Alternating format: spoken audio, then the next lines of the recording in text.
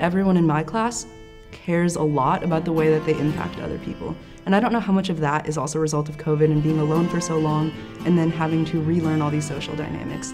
But I think everyone in my class is really uniquely aware of how their actions impact not only their friends and their immediate circle, but the grade beyond. And I think that's also why we have so much class unity. Exeter is an experience that you'll never get again. And it's not to say you'll never have a better experience or that you'll never, you know, be this happy. It's just that it's different from anything you'll ever have again.